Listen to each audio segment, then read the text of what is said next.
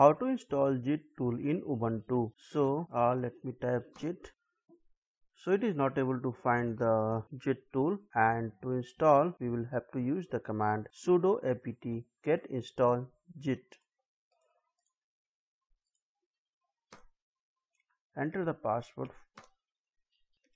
now it is downloading and once the package is downloaded the installer will install on the ubuntu. So on ubuntu it is very easy to install the git package. So it is downloaded and the version of git is 2.5.0 so in this tutorial you learned how to install git on ubuntu. Thanks for watching the video and subscribe our channel